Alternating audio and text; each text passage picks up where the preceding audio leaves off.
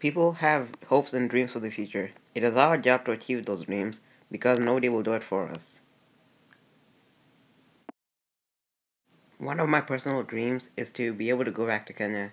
I want to go back to Kenya because I miss being there, and my parents keep telling me that we're gonna go, but we never do.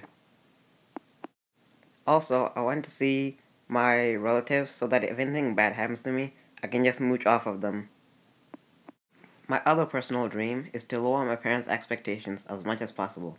That way, if I do something good, they will be surprised and congratulate me. But if I do something bad, they won't care. My last personal goal is to get a college degree. I don't care what the degree is, I just want one.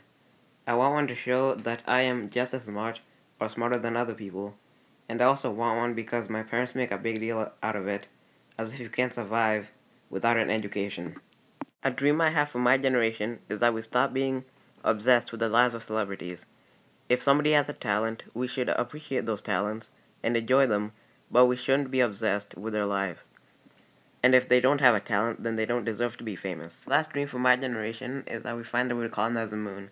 That is my dream because the human population is uh, accelerating, and soon there will be no space left on Earth for anybody to live in, so we need to find more space and the moon is right there, so we can just live there.